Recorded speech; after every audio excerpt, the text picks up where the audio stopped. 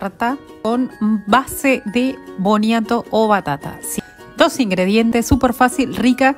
Y arriba le podés poner lo que quieras. Ahí tengo boniatos que lavé, batata si estás en Argentina. Hola, vecinos.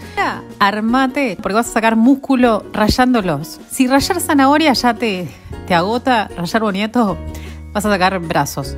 Rayás, les pones un toquecito de sal, un chorrito de aceite que es opcional, yo se lo pongo. Lo que le vamos a agregar ahora son huevos. Mirá la simpleza de esta masa. Y acá, como verás, le estoy metiendo mano y en esa asadera con un poquito de aceite lo dejé caer y esto le vamos a dar una precocción.